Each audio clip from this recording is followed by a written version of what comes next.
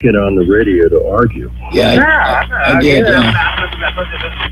Yeah. But yeah, because if I don't. Oh, well, if you get, tell me what kind of amp it is. But the thing is, see, the reason for variable power is so you can adjust your carrier property exactly for the amp. You know, so you can fine tune it. You know, so you can you, you take it right up to the point where it starts getting a little quieter on the audio as going out, and then you back it down a little bit. You know, that's how it works. So when you're talking, turn the amp on and you turn up that that RF power until your audio starts getting a little quieter over the air. And then you ask you ask somebody, you know, hey, tell me when my audio starts getting quiet. You know, turn it up to two o'clock, and they say, yeah, but it, it, it, it didn't get quiet any quieter, and the amp will take it. You know, but if it got quieter, that means you're saturating the input of the amplifier too too much. You know, so you back it down to eleven o'clock. You know.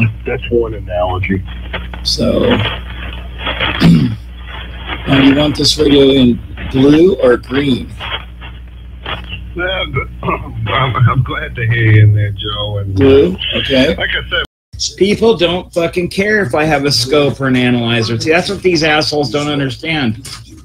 People don't care if I don't have a scope or an analyzer. The people that get work done by me, once they get the radio, they are very happy and they understand.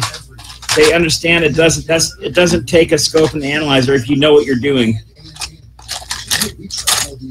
If you know how to if you know how to do radios without them, and I don't need them. To me, it's just it would slow me down, and it's just a crutch. To me, that shit is just a crutch. To me. I'm just talking this fucking mumbo jumbo technical bullshit, man.